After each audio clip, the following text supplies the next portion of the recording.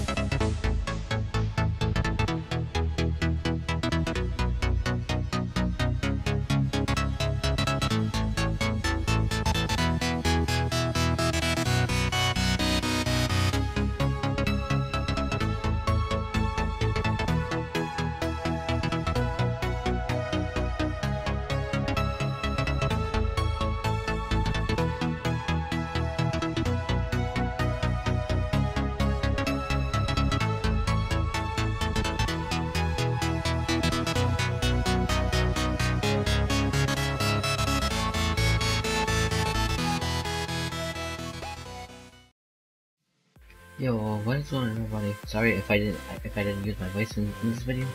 And yes, don't forget to subscribe and like the video. And I'll see you guys all later.